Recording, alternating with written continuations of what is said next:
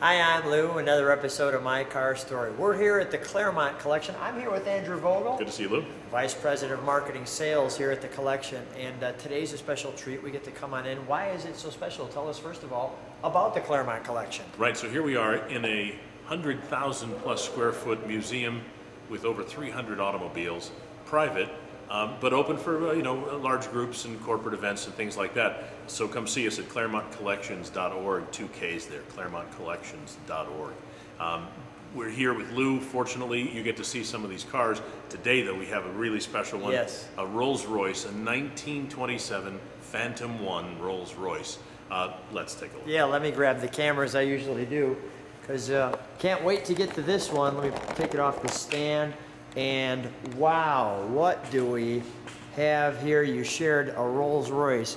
You know, it's always, you know, you think of the, the rich and famous when you think of Rolls Royce. And tell me about this one. Yeah, so this one in 1927, it was really the first one of the, the redesigned Phantom 1. Uh, it took the place of what they called the new Phantom, which really took the place of the Silver Ghost. Same chassis um, uh, in many ways, and yet different and improved in so many others, drivetrain being one of them. Um, this one was originally bodied by the company called Hooper, Hooper Coachworks.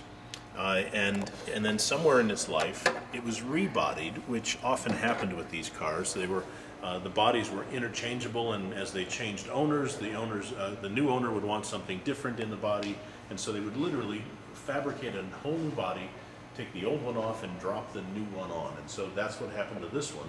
So it was rebodied by the company called Barker. Now, there's another thing about this car that really you should know, and that is that there were, uh, there were two places Rolls Royces were built in the world. England, of course, the other one was America. Really? For a brief period, this car was one of those that was built in Springfield, Massachusetts. Um, interesting because it's, it retains its right hand drive.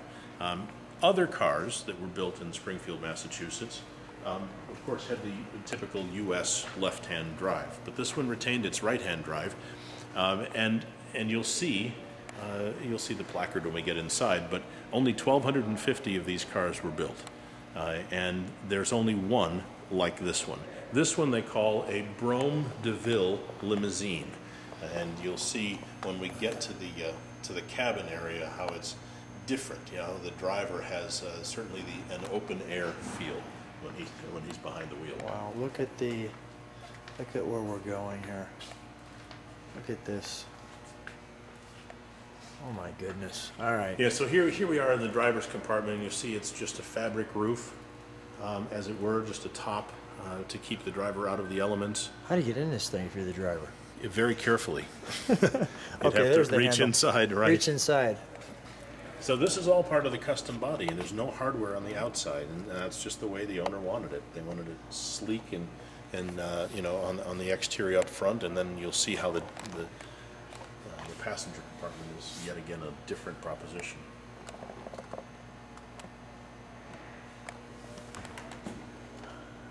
Get all the details there on this one to start it. This particular car has won many awards at Concours competition across the country. Uh, the Classic Car uh, Association, uh, sorry, club, has also um, given it distinction as a first place winner too.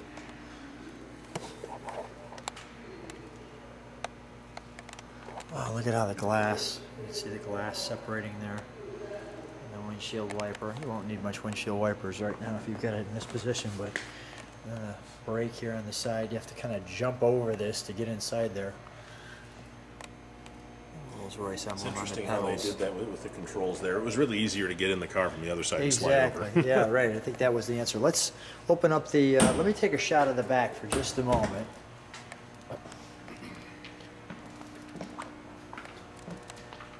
So as people can see our limousine here. Wow. And uh, big trunk in the back that opens. A beautiful window here. Let's open up the. Uh, And you'll notice on the side here, as you were shooting this, there are no windows on the side, so Yeah. it's what they call the blind. And so it was for privacy more than anything else for the for the passengers. Look at this. Oh my goodness. Look at This that. is uh, linen and silk fabric. Wow. Original from the Rebody. Look at that. Wow, that's just.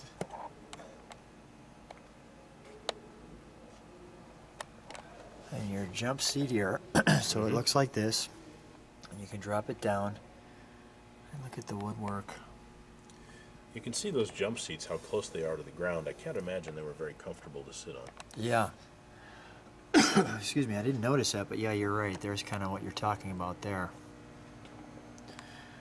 Naturally, you have your gloves on when you get in your Rolls Royce. See, there's even a skylight. Oh my goodness, no, I didn't notice that. Thanks for. Little, uh, Look at that. and it looks like it opens. Yeah, it does. Clearly. Well, that was cool. The first sunroof. Let's uh, let's take a look under the hood. Let me let me just show the back down here too. I don't want to miss some of these pieces. Look at the exhaust. And the tail lights. It's not only the tail lights here, but there's the tail light over here and the, the gas filler. Take a look at the car from this angle. Wow. Here, I'll open the hood for you on this side. Please. We'll look on both sides because they're so different on each side. How heavy is that, Andrew? I'd say it's about 30 pounds. 30 pounds. Mm-hmm. There we are. Look at this. So here's obviously the exhaust side, but I'm noticing it looks like also, is this the intake side? It is the intake side as well. Correct.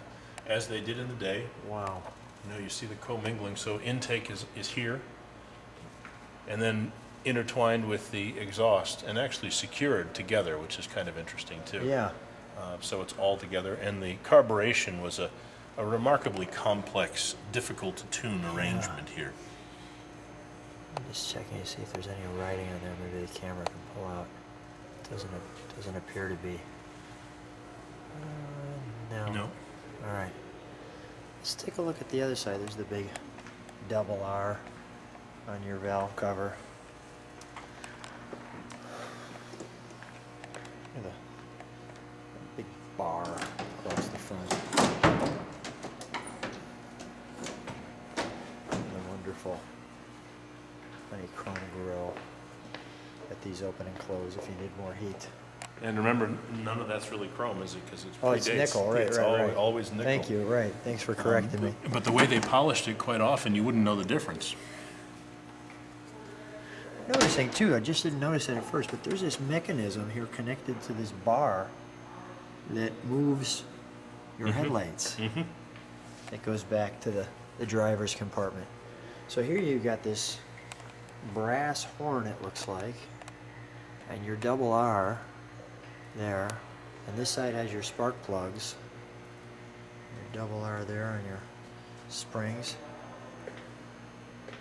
One thing I didn't notice right off the bat, would you mind opening that door one more time? Mhm. Now let's look under it. I didn't see the, usually there's a body tag connected with Rolls Royce. And it's either there or it's usually under here. See if it's under here.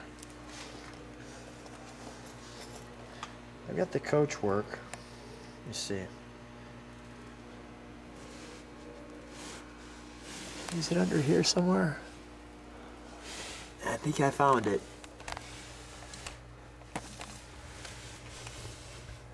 Gonna have to do this. Sadly, people, I like this kind of stuff. There it is. Buried in there.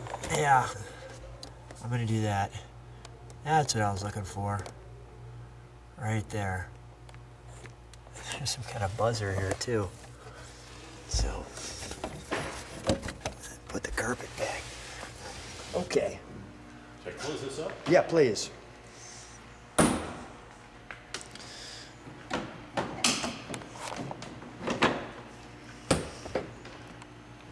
Okay, Andrew, stand right next to the Yes, sir. beautiful I get the lady. car here. Yeah, straighten your lady out there. There we go. There we are. Andrew, thanks Yeah. again for showing us such a unique, extremely extravagant, beautiful ride. Thanks so much for being on My Car Story. You bet, Lou. Great to see you always.